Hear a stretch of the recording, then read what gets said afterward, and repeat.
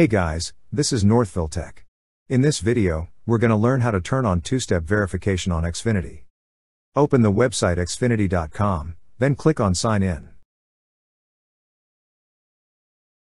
First, enter your email, mobile, or username. Next, enter your password. Then click on Sign In.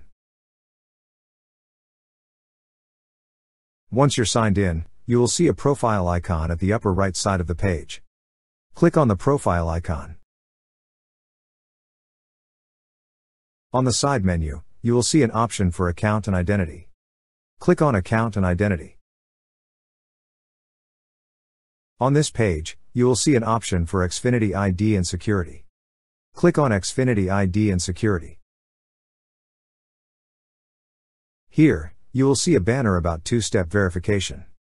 To proceed, click on Turn on two-step verification. When you turn on two-step verification, you will be asked a verification code when signing in. To continue, click on the button that says Turn on. And now two-step verification is activated. That's how you turn on two-step verification on Xfinity. Thank you so much guys for watching and if you have not yet subscribed to our YouTube channel, please subscribe to our YouTube channel as we create tech videos almost every day. Also, check out our website northvilletech.com for great tech articles, and our recommended resources in the description below for various sign up bonuses.